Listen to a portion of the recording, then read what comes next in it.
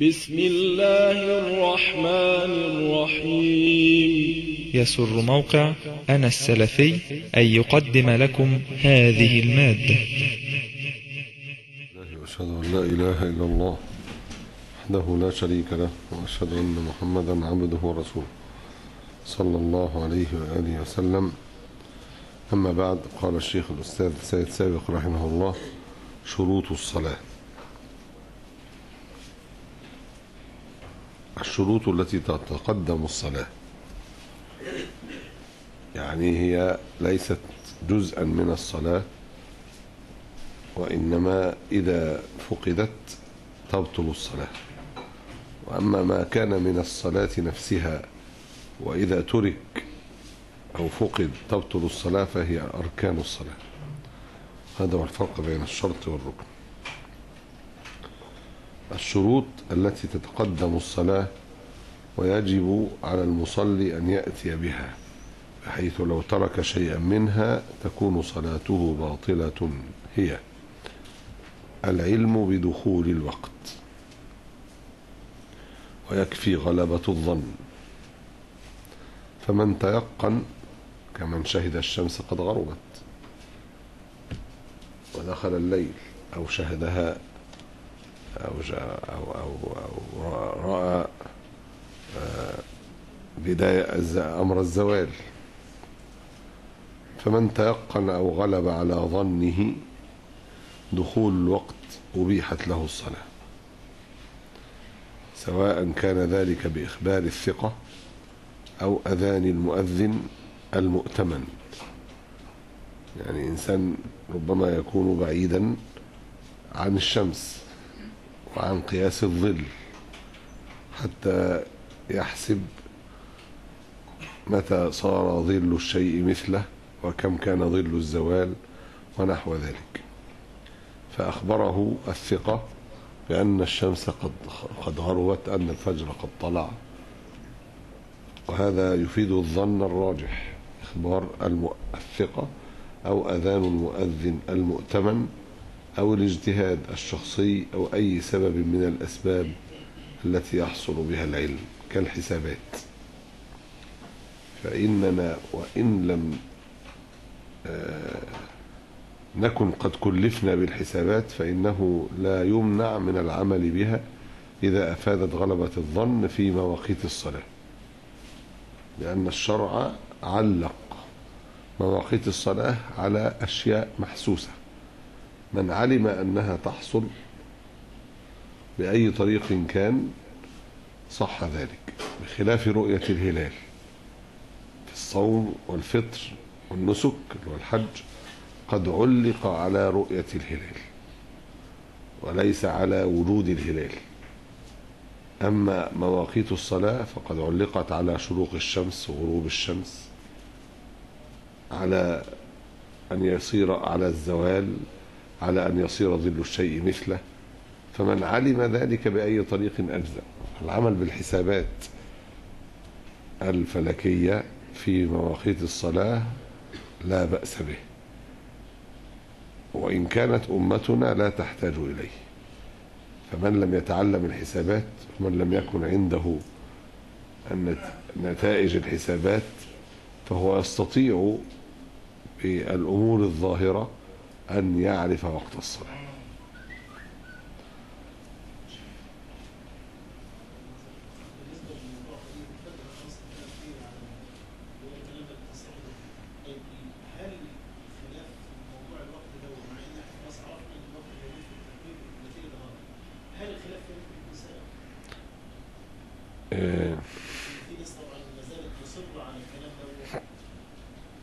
ما معنى أن الخلاف سائغ في أن الشمس قد طلعت أو لم تطلع؟ ما معنى أن الخلاف سائغ في أن الفجر قد طلع أم لم يطلع؟ هذا غير متصور. أعني أن إما أن الفجر قد طلع وإما أن الفجر إيه؟ لم يطلع. أو إن إما الشمس قد غربت أو الشمس لم تغرب. وإن كان الإنسان مكلفا كما يعني ذكر أهل العلم بغلبة الظن. ومن عمل بغلبة الظن فتبين خطأه حصل له غلبة الظن فتبين خطأه وجب عليه أن يعمل ب آه، يعني ما وصل إليه علمه بعد تبين الخطأ. بمعنى إذا تبين على وجه اليقين أن الرجل قد صلى قبل دخول الوقت فصلاته باطلة بلا نزاع. الشك في دخول الوقت لا يبيح الصلاة. وهو قال هنا العلم بدخول الوقت إن بعض المشايخ لما ظهرت مشكلة أذان الفجر أنه قبل الوقت قالوا حتى يتبين آه، خلاف ما عليه النتائج فنستمر على النتائج. بأي شيء في ذلك لمجرد الاحتمال أننا نستمر على ما عليه هذه الحسابات التي آه، لا يعرف صدقها في الحقيقة. فهي لا تفيد غلب الظن بل متابعة أعني حسابات هيئة المساحة المصرية خصوصا. هيئة المساحة المصرية تحسب أذان الفجر على خلاف القواعد العلمية الفلكية المتفق عليها. وهي تحسب زاوية الشمس تحت الأفق بت- بتسعة عشر درجة ونصف كما سبق شرح ذلك. فإذا تبين أن هناك من يصلي قبل الوقت لم يجز أن يعتد بهذه الصلاة. أما هو نفسه أثر غلبة الظن في حقه أنها تسقط عنه الإثم. أنها تسقط عنه أما صحة الصلاة فلا.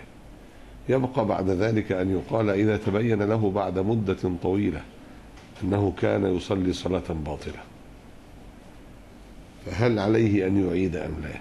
ظاهر حديث المسيء صلاته أنه ليس عليه إعادة ما سبق إلا الصلاة التي ما زال وقتها باقيا.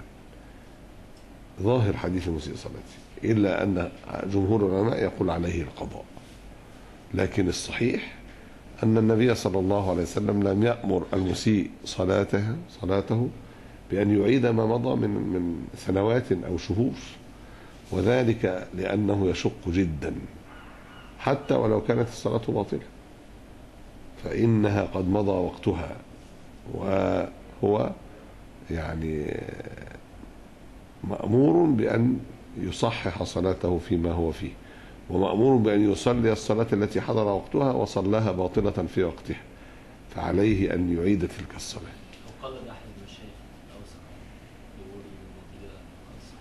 لو قلد وتبين خطأ ذلك فهو الذي نقول الصلاة باطلة لأن دخول الوقت شرط والعلم بدخول الوقت شرط.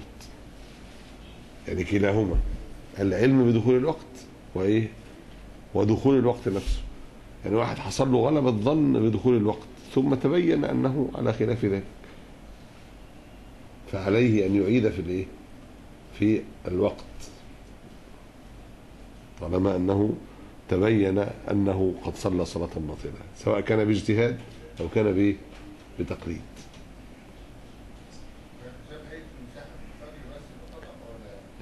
حساب هيئة المساحة في الفجر والعشاء أهون كثيرا العشاء أحسن وإن كان فيها خلل يسير لأنها محسوبة على الشفق الأبيض وليس على الشفق الأحمر. وقد سبق أن بينا ذلك في وقت الصلاة. وبالنسبة لأذان المغرب خصوصا في فصل الصيف فهناك وفي كذلك بالنسبة لطلوع الشمس هناك فرق يسير هو ما بين نصف دقيقة إلى دقيقة ونصف أو دقيقتين إلا ثلثا يعني دقيقة وثلثين دقيقة بسبب أن هذه الحسابات محسوبة. أنا مش مش في مصر ما شهادة المساحة المصرية فقط كل الحسابات بتحسب على مركز قرص الشمس. فلا بد من تعديلها بإضافة هذه الدقيقة أو الدقيقة ونصف.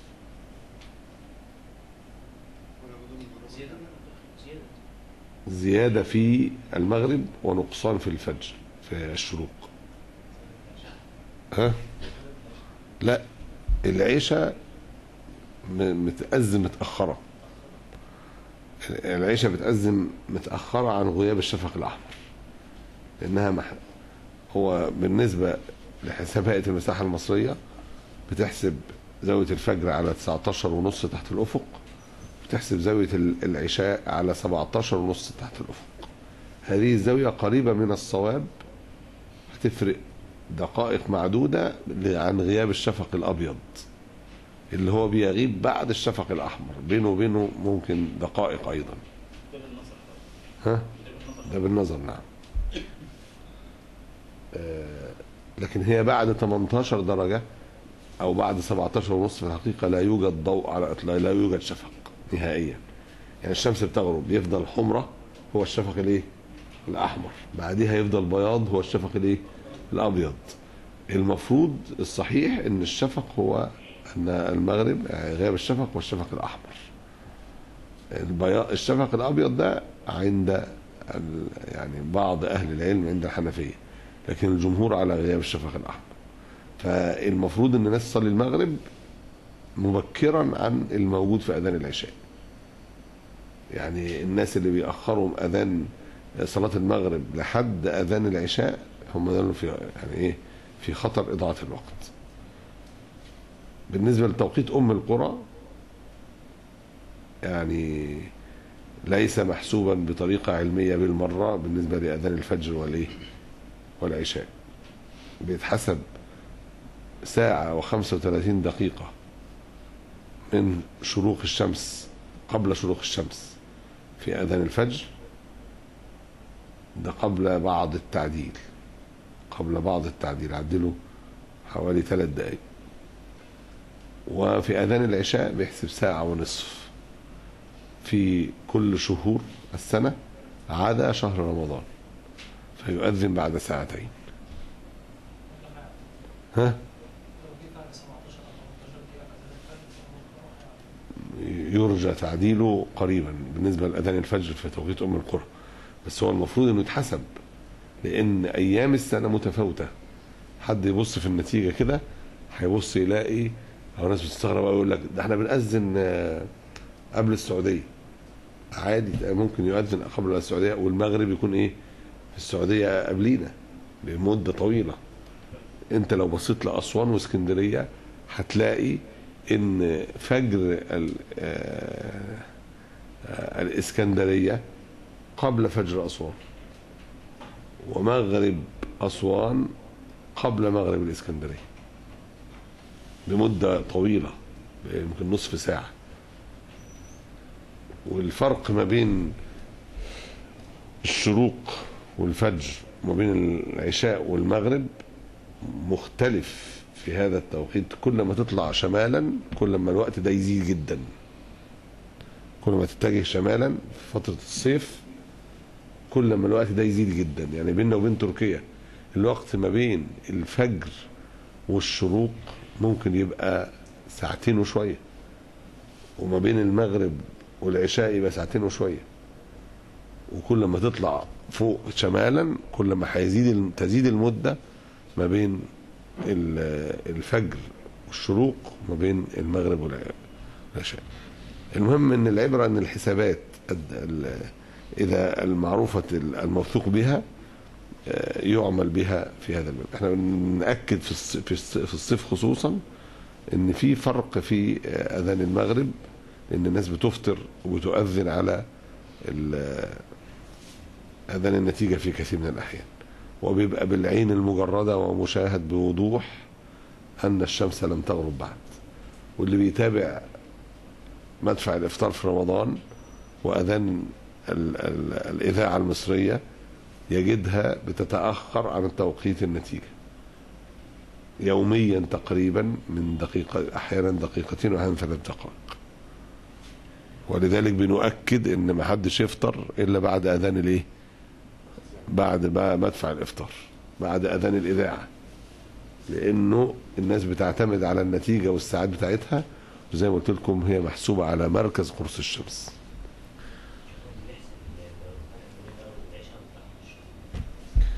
اللي بيحسب ما بين المغرب والعشاء ويطرحهم الشروق يبقى حسب الفجر على زاوية 17 ونص. وهي زاوية قريبة جدا من الصواب أو 17 يعني لو زود عليها بتاع دقيقتين أو ثلاثة في الشتاء ولو زي بالكتير خمس دقائق في الصيف هيبقى مجزئ.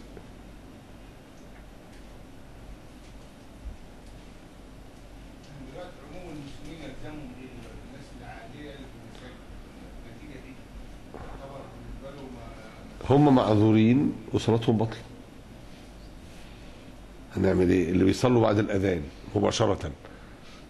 لكن يلزمهم إيه؟ يلزمهم يأخروا شوية يلزمهم ما يستعجلوش بهذه الطريقة.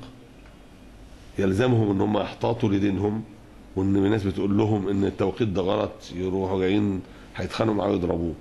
يبقى ده هم مقصرين. هو من أين إلا التقليد؟ إيه إحنا طلعنا لقيناها كده. هو ده عمره ما يكون حجة. أنت اطلع شوفها. وناس بتطلع تشوفها دائما. أنا راقبتها راقبتها مرات في البر وفي البحر. وأنا جازم من التوقيت ده خاطئ. بتاع الفجر ده.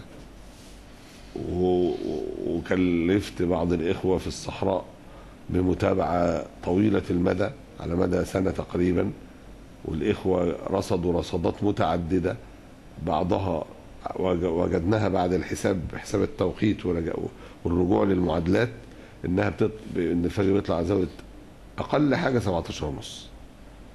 17 ونص. وده متوافق مع المعلومات العلمية الفلكية المسجلة في المراجع العلمية الأوروبية والأمريكية. إن عند 18 18 دي اللي محسوب عليها توقيت رابطة العالم الإسلامي اللي موجود في الساعات اللي هي ساعات الفجر آه، وساعات آه، اسمها إيه؟ العصر اسمها كده. دي محسوبة على زاوية 18 هذا التوقيت بي بي المراجع العلمية الفلكية بتقول عند 18 درجة أو قبل 18 درجة نجزم بأنه ظلام دامس. وبعدها بقد إيه؟ متفاوت حسب غيوم السماء درجة الرطوبة معلومات لا يمكن ضبطها بالحساب. لكن هي في النهاية هتبقى آه، هتفرق دقائق. فعلى الأقل نصف درجة. الإخوة اللي رصدوا في براني وفي السلوم كانت رصدتهم ما بين 17 ونص وبين 16 ونص. ولذلك حساب الجم... ال- ال- الأسنى اللي هي أمريكا الشمالية اللي هي عملتها على الأول عملتها أول ما طلعت على 14 بعد كده عملتها على 15 درجة. أعتقد أنه توقيت طويل عن الحقيقة. في أبحاث كتيرة جدا. دلوقتي في هيئة من كبار العلماء تبع لجنة من هيئة كبار العلماء في السعودية عاملة بحث لتعديل تقويم أم القرى. عندنا في مصر اتعملت لجنة شكلها الشيخ جاد الحق رحمه الله وطلعت نتائج وعرضت نتائجها والشيخ أوصى قبل أن يموت وهو على فراش الموت بتعديل آه، توقيت الفجر سكرتيره آه، أحد المقربين منه الشيخ أحمد الخطيب كان رئيس تحرير مجلة الأزهر نقل لنا هذا الكلام مباشرة عن وصية الشيخ جاد الحق. لما جه اللي بعديه على طول آه، طنطاوي ألغى هذا الأمر. وشككت في نتائج اللجنة. لكن هو كان فعلا هو اللي كان أفتى أولا بأن إحنا التوقيت ده صحيح وشكل لجنة بناء على أزمة أثيرت في الثمانينات بسبب مسجد التقوى. بالإيه؟ في الزاوية واحدة وتوقيت الزاوية هو المختلف. يعني الدرجة بتاعت الدرجة من 19 ونص ل 18 ونص ل 17 ونص في اسكندرية غيرها في أسوان غيرها في اسطنبول غيرها في ستوكهولم. ستوكهولم دي ممكن تبقى ثلاث ساعات. المسافة بين بين الايه؟ اللي هي في الحقيقة من المغرب وال- والعشاء اللي هم 18 درجة ثلاث ساعات. يعني تبقى ال ال ال ال ال الدرجة ب 10 دقائق؟ وفي وفي أسوان تبقى الدرجة بإيه؟ بثلاث دقائق لأن دي عبارة عن انعكاس الأشعة أشعة الشمس على طبقات الجو العليا. فبتفرق بسبب ميل الأرض بالنسبة لناحيه الشمس فليه النهار بيطول جدا فوق كل ما نطلع فوق لأن الأرض إيه؟ بتبقى بتبقى مايلة بهذه الطريقة. مايلة ناحية الشمس تبقى تبقى كده عاملة كده. وبالتالي بيطول النهار جدا. يعني لو الشمس كده الأرض بتدور حوالين محورها بتبقى معتدلة في الاعتدالين. وبتميل كده في, في, في الصيف وتميل كده في الإيه؟ في الشتاء. فعشان كده في الشتاء يكاد يكون القطب القطب دايرة القطب الشمالي أو هو القطب الشمالي نفسه لا يرى فيه ضوء ست شهور. الشمس ما تطلعش ست شهور. لأن الميل ده بيخلي إن القطب الشمالي ما فيهوش نور. ودائرة القطب الشمالي تبقى كلها عبارة أقصاها عبارة عن شفق. ما تطلعش الشمس. وهكذا بالنسبة للقطب الجنوبي. فكل لما تنزل قرب بقى في في الصيف كل ما تتجه شمالا كل ما النهار هيطول. وبالتالي كل ما المدة ما بين الشروق والفجر وما بين المغرب والعشاء بتطول. فده الفرق بقى في الموضوع ده. المهم إن المعلومات دي ال- الناس يعني نحن أمة إيه؟ أمية. طب مطلوب منهم إيه؟ مطلوب منهم إنهم ما يطلعوا يشوفوا بعينيهم. طيب آه، هم م- متعودوش يتعودوا يطلعوا يشوفوا بعينيهم ما هي ما حل يا إما نعمل توقيت احتياطي في هذا الباب. الاحتياطي ده مش أقل من 18 درجة بحال من الأحوال. 18 درجة تحت الأفق. الشمس تكون تحت الأفق ب 18 درجه ساعة الشروق دي زاوية صفر اللي هي ساعة شروق مركز قرص الشمس. دي عند الأفق لما تيجي تبص كده يبقى دي أول شعاع بيطلع المفروض ده الزاوية دي صفر. الشمس كانت فين قبليها؟ كانت تحت مش كده؟ كانت تحت طلع لنا طلع الشمس طلعت مش كده؟ بتطلع. وفي الغروب بت إيه؟ بتنزل. إيه هي دي الزاوية؟ لأن دي انعكاس أشعة الشمس على طبقات الجو العليا في الاثنين في ظاهرة الشفق دي. عشان ال- ال- الكرة الأرضية لها طبقات جو لها طبقات.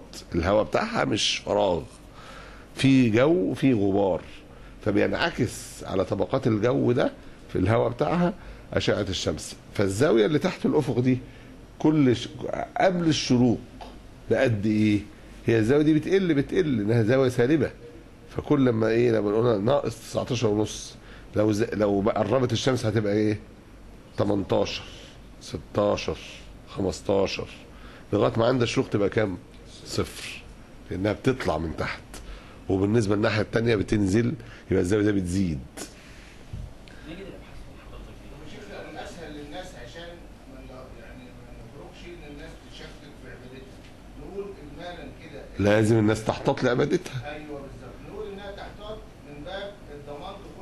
لازم العلم بدخول الوقت أو غلبة الظن. الشك في دخول الوقت ما ينفعش. هو ما عندوش شك. هو بس إحنا نقول هو ما عندوش شك. نتيجة إن هو معتمد على توقيت النتيجة. نجزم بأن هو لا يعرف. هو مقلد مش ما عندوش شك. هو مقلد والتقليد لا يفيد علما. هو لو عنده شك مش لا. لا لا لا. ابدا. القضية بالنسبة له هو التقليد المحض. والتقليد بإجماع العلماء ليس علما ال- ال- ال- اللي تراه حضرتك بالنسبة لتوقيت الفجر التوقيت بتاع إقامة الصلاة. بعديه في وقتنا الحالي بتلت ساعة آه وقت- من وقت 19 الأذان. دقيقة من وقت الأذان نعم لأن عندنا بفضل الله بقول لكم المشكلة دي بدأت في مسجد التقوى هنا لأن إحنا كنا اذنا في رمضان أذان تاني اللي بتاعنا ده فحصلت أزمة مع الجهات المسؤولة وبعتوا فتوى هم مباشرة لف- للشيخ الازهر في ذلك الوقت كان الشيخ جاد الإيه؟ جاد الحق. فالشيخ أفتى اولا إن التوقيت بتاعنا صح وهنعمل لجنة. عمل لجنة بعد خمس سنين طلعت النتيجة. بعد خمس سنين طلعت النتيجة. والبحث ده موجود. ها؟ آه والفتوى بتاعته الفتوى دي شفوية. حدثني الشيخ أحمد عطيبه حدثه الشيخ أحمد الخطيب رئيس تعليم جامعة الأزهر. حدثه الشيخ كاد الحق على فراش الموت علي الخطيب. علي الخطيب. حدثه الشيخ جاد الحق على فراش الموت غيروا توقيت الفجر وصيتي غيروا توقيت الفجر أما إن النتيجة بتاعت الأبحاث موجودة موجودة. ها؟ الفلاحين قولوا لهم أخروا ال- الإقامة. لا أقل من تأخير الإقامة. آه عايش. يعني 10 دقايق زي ما حضرتك كنا قلت انت قلت يعني تلت ساعه كنت تلت ساعة ده أنا اللي برجحه عندنا عشان يبقى أحوط. لكن أنا جازم بأن اللي بيصلي قبل تسع دقايق ونص عشر دقايق. دلوقتي صلاته في فصل الصيف. وفي الشتاء اللي بيصلي قبل سبع دقايق ست دقايق ونص صلاته بطلة ده أنا جازم بذلك. آه صلاة فرض وسنة بالنسبة للمغرب في الصيف اجتهدوا في التأخير دقيقة ونص. أو أذنهم على أذان إذاعة الإسكندرية. إذاعة الإسكندرية ما بيأذنوش إلا لما يشوفوا الشمس غربت ها؟ في الشتاء بتبقى نتيجة وجود الغيوم غالبا بتبقى مظبوطة. هتفرق في الشتاء أقل من نصف الناس تصلي العشاء اللي عايز يصلي المغرب في البيوت النساء في البيوت يصلوا المغرب قبل العشاء بربع ساعة. ها؟ النتيجة بتتغير؟ لا النتيجة دي مطبوعة طول عمرها كده بقى لها 50 سنة. ها؟ أول السنة الجديدة زي ما هي. هتلاقي لو أنت عايز إن لو جبت بس غير التواريخ كده مثلا باغسطس 2014 خليها خليها 2013 هتلاقي نفس البتاع بالظبط. يعني لو جبت نتيجه السنة اللي فاتت 2013 يوم 5 أغسطس هتلاقي الم- المواقيت دي هي بعينها.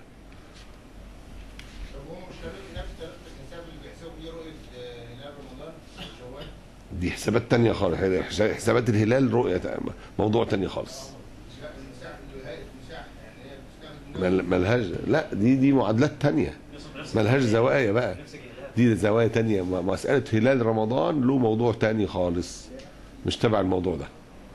دي موضوع حسابات المعادلة اللي موجودة هو بحث كبير جدا موجود في مجلة البحوث الإسلامية العدد الأول الصادر عن هيئة كبار العلماء بالمملكة العربية السعودية.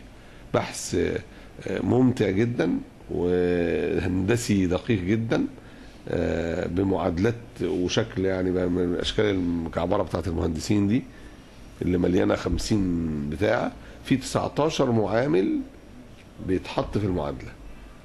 19 حاجة متغيرة بالنسبة لخطوط الطول والعرض والمكان والزمان والبتاع لغاية ما آه، يطلع النتيجة ال-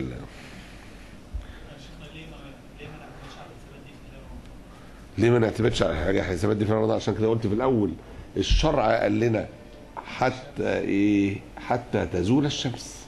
إذا زالت الشمس بأي طريق علمت ذلك خلاص.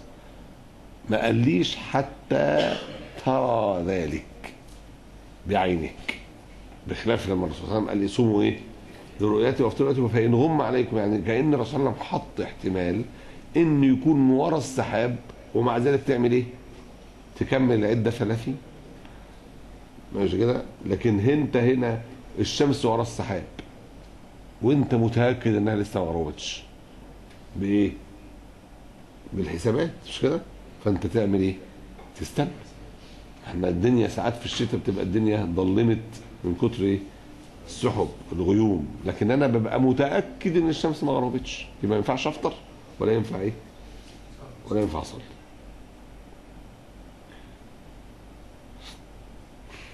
الطهارة من الحدث الأصغر والأكبر. ده الشرط الثاني لقول الله تعالى يا أيها الذين آمنوا إذا قمتم إلى الصلاة فاغسلوا وجوهكم وأيديكم إلى المرافق وامسحوا برؤوسكم وأرجلكم إلى الكعبين وإن كنتم جنبا فاطهروا ولحديث ابن عمر رضي الله عنهما أن النبي صلى الله عليه وسلم قال لا يقبل الله صلاة بغير طهور ولا صدقة من غلول. رواه الجماعة إلا البخاري. الطهارة من الحدث الأصغر والأكبر شرط مطلقا مع العلم والجهل مع الذكر والنسيان. مع الخطأ والقصد يعني إيه؟ واحد جاهل بأن يجب غسل العقبين في غسل الرجل. واحد شايف ان هو يحط مية على رجله ويروح جاي يعملها كده ولو حتة فضلت ما جالهاش مية هو شايف إن ما فيهاش مشكلة. لا هو ما يعرفش. في واحد جاهل يظن إن ده جائز زي الشيعة وواحد تاني أخطأ. هو عارف إنها فرض وإيه؟ وما خدش باله. أنا ساعات يجي أخ يقول لي أنت في حتة من رجلك إيه؟ ما تبلتش. اقوم رايح وع- وعايد الوضوء تاني. ده معنى شرط مطلقا تبقى الصلاة باطلة. وكذلك مع النسيان. واحد نسى إن هو إيه؟ نسى يتوضأ. ماشي؟ هو مش متعمد إن هو دخل ناسى إنه كان انتقد وضوءه وتأكد كده إن الوضوء ما انتقدش انه ما اتوضاش بعدها. ده صلاته إيه؟ صلاته بطلة إذا صلى بغير وضوء. لا يقبل الله صلاة بغير طهور. واحد ما كانش يعرف إن هو احتلم وقام وصلى. وبعدين بص في الملابس لقى إيه؟ آثر المني. وتأكد إن هو ده إيه؟ خلاص علاماته أكيد ده خرج منه. يبقى هو قد حصل له احتلام نسيه. فهذا نتيجة الخطأ وليس نتيجة العمد. قد صلى صلاة بغير طهور. زي ما قلنا الطهارة من الحدث الأكبر والأصغر شرط مطلقا مع العلم والجهل. واحد ما كانش يعرف إن الوضوء لازم فيه آه، يعني مثلا زي ما قلت لكم غسل العقبين. واحد ما ما- آه، مع الذكر والنسيان كان ناسي إن هو ما توضاش. مع الخطأ والإيه؟ والعمد أو مع الخطأ والقصد. هو ما كانش قصده إن هو ما يغسلش الحتة دي من رجله. فيعيد الصلاة في جميع الأحوال.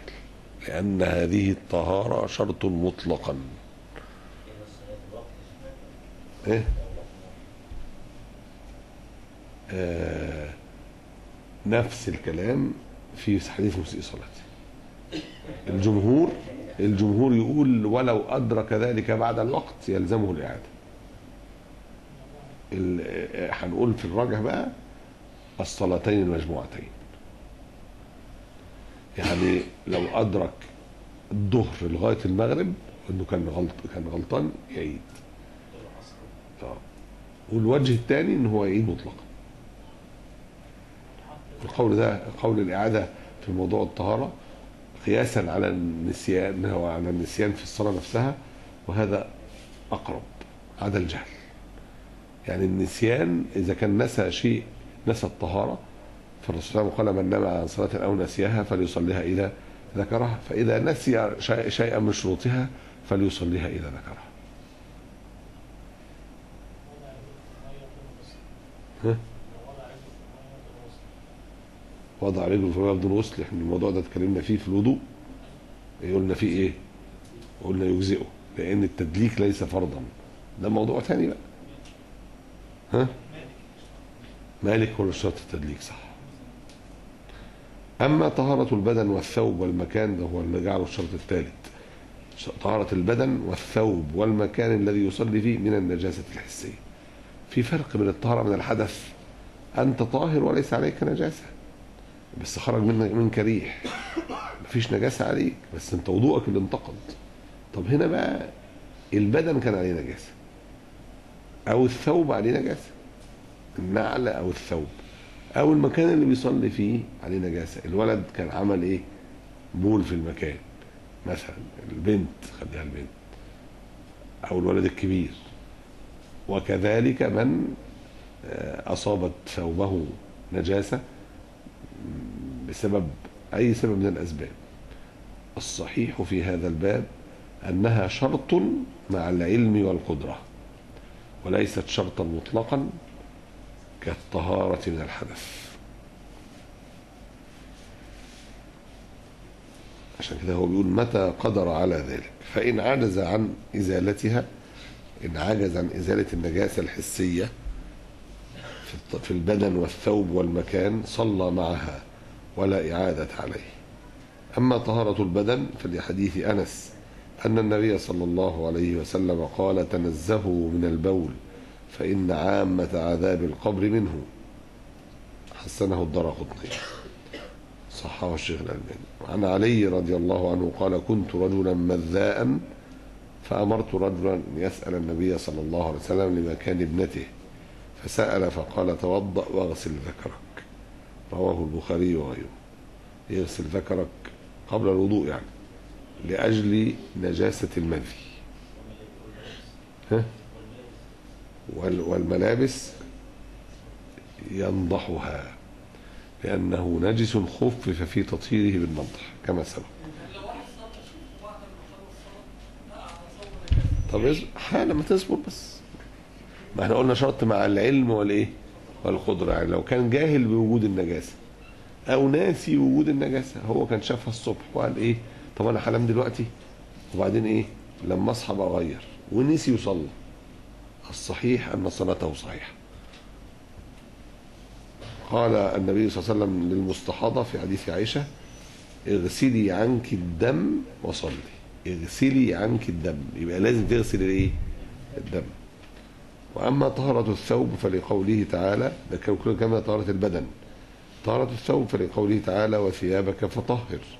عن جابر بن سمرة قال سمعت رجلا سأل النبي صلى الله عليه وسلم قال أصلي في الثوب الذي آتي فيه أهلي؟ قال نعم إلا أن ترى فيه شيئا فتغسله صحيح. صح. رواه ابن ماجه. على فكرة ده من أقوى الأدلة على نجاسة المني حديث المصطفى اغسلي الدم عنك وصلي ولا اغسلي عنك الدم وصلي ها؟ اغسلي الدم عنك اغسلي عنك الدم. عنك والنص اغسلي الدم عنك يعني اغسلي عنك الدم. مش مشكلة. بس هو كده اغسلي عنك حديث صحيح ده رواه في الصحيح. هو البخاري. نعم إلا أن ترى فيه شيئا فتغسله. شيء دي ما تشملش تشمل. تشمل أي حاجة. طب هو المنزل يبقى غسل اصل اتي فيه أهلي الأغلب الاعم انه هياتي إيه؟ المني قد يكون بس قال شيئا إلا أن ترى فيه شيئا يبقى أي شيء. المزي المزي ينضح. آه يجوز فيه النضح. فلما قال إلا أن ترى فيه شيئا أي مما يصيب أثناء الجماع. وعن معاوية. قال قلت لأم حبيبة هل كان النبي صلى الله عليه وسلم يصلي في الثوب الذي يجامع فيه؟ قالت نعم إذا لم يكن فيه أذى. رواه أحمد وأصحاب السنن إلا الترمذي وهو حديث صحيح. وعن أبي سعيد أنه صلى الله عليه وسلم صلى فخلعنا عليه فخلع الناس نعالهم. فلما انصرف قال لم خلعتم؟ قالوا رأيناك خلعت فخلعنا. فقال إن جبريل أتاني فأخبرني أن بهما خبثا فإذا جاء أحدكم المسجد فليقلب عليه ولينظر فيهما فإن رأى خبثا فليمسحه بالأرض ثم ليصلي فيهما لأنه خفف في تطهير النعل بالدلك بالأرض طالما زالت النجاسة. زي ما خفف في تطهير المذي بالرش وخفف في تطهير بول الصبي الذي لم يأكل الطعام بالرش وخفف في تطهير المني على الراجح بنجاسته بأنه يفرك إذا كان يابسا ويغسل أو يمسح بإذخرة أو خرقة إذا كان رطبا فكل ذلك نوع تطهير خفف فيه. ولو بقي بعض الأثر. حديث صلاة النبي صلى الله عليه وسلم في نعل فيه خبث رواه أحمد وأبو داود والحاكم وابن حبان وابن خزيمة وصححه. وفي الحديث دليل على أن المصلي إذا دخل في الصلاة وهو متلبس بنجاسة غير عالم بها أو ناسيا لها ثم علم بها أثناء الصلاة فإنه يجب عليه إزالتها ثم يستمر في صلاته ويبني على ما صلى ولا إعادة عليه. ده عشان كده قلنا ده شرط مع العلم والإيه؟ والقدرة بخلاف إذا تذكر في الركعة الثانية إنه مش متوضي ما ينفعش يروح يتوضى ويرجع إيه؟ يكمل الركعة الثانية حتى لو الوضوء كان قدامه مش هيروح ولا هيمشي ولا هيستدبر القبلة. لا وهنا دلوقتي أصابه افتكر إن في في ثيابه نجاسة يقلعها ما لم تنكشف العورة يعني البنطلون هو لابس قميص والبنطلون فيه نجاسة. يعمل إيه؟ يقلع البنطلون. بس طالما طالما القميص إيه؟ ساتر مو- مش لازم في الجامع ممكن في البيت. يعني أنتوا متصورين المنظر الصعب اللي هو في المسجد. لكن مش لازم ممكن يكون واحد في البيت يبقى إيه؟ ينزع زي ما الرسول نزع النعل. فخلاص فكذلك إذا كان على سبيل المثال وجد على ثوبه على قميصه نجاسة وهو لابس تحتيه ملابس شيء يقلع الايه اللي فيه النجاسة ويكمل. ده دليل على إن هذا الجزء من الصلاة وقع صحيحا بخلاف اللي صلى من غير وضوء هذا الجزء وقع إيه؟ باطلا. أما طهارة المكان الذي يصلي فيه فلحديث أبي هريرة قال قام أعرابي فبالغ المسجد فقام إليه الناس ليقعوا به فقال النبي صلى الله عليه وسلم دعوه وأريقوا على بوله سجلا من ماء أو ذنوبا من ماء فإنما بعثتم ميسرين ولم تبعثوا معسرين. رواه الجماعة إلا مسلما قال الشوكاني بعد أن ناقش أدلة القائلين باشتراط طهارة الثوب إذا تقرر ما سقناه لك من الأدلة وما فيها فاعلم أنها لا تقصر أو لا تقصر عن إفادة وجوب تطهير الثياب. فمن صلى وعليه نجاسة كان تاركا لواجب. وأما أن صلاته باطلة كما هو شأن فقدان شرط الصحة فلا. هذا قول المالكية في هذا الباب إلا أن الصحيح أنه طالما كان قادرا على تطهير ثوبه فلم يفعل فهو لم يصلي كما أمر فنأمره أن يصلي كما أمر. ولذلك نحن لا نقول أنه شرط مطلقا ولكنه شرط صحة مع العلم والقدرة. فمن كان ناسيا أو جاهلا أو عاجزا فصلاته صحيحة. الجزء اللي هو وقع فيه هو تذكر فيها فيها نجاسة. يعني تذكر إن فيه نجاسة.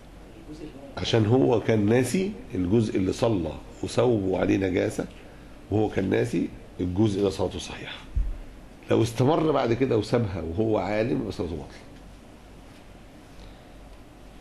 قال وفي الروضة النبية وقد ذهب الجمهور إلى وجوب تطهير الثلاثة البدن والثوب والمكان للصلاة. وذهب جمع إلى أن ذلك شرط لصحة الصلاة.